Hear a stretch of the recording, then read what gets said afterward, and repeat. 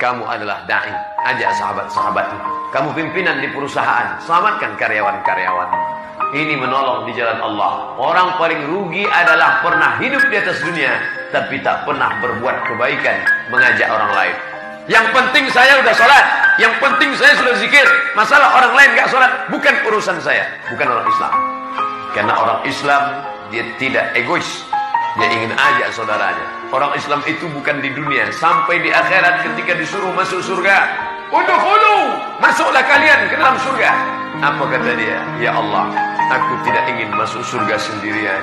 Kawanku yang dulu sama-sama satu pengajian, sama-sama satu masjid, mana dia ya Allah? Izinkan aku mencarinya ya Allah. Maka Allah berikan izin cari dia. Maka ketika itu Allah berikan dia kebal tidak terkena api neraka. Cari saudaramu yang ada dalam neraka. Tarik dia. Itulah syafaat.